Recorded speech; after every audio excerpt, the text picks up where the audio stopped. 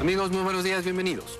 Estos son los saldos de la deuda pública a diciembre de 2006, a septiembre de 2011 y a enero de 2018.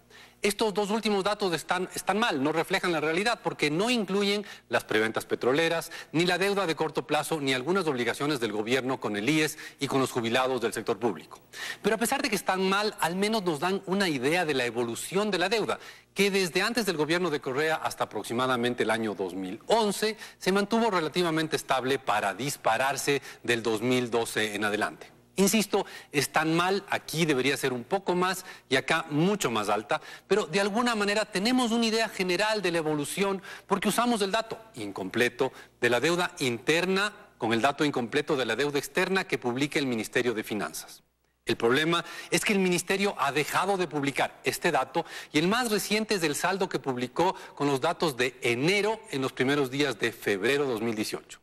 A estas fechas deberíamos tener el dato de febrero y el de marzo, y en los próximos días debería ya publicarse el dato de abril 2018. Pero llevamos casi tres meses sin que se publiquen los datos actualizados de la deuda y no se ha dado ninguna explicación de por qué. Muchas gracias.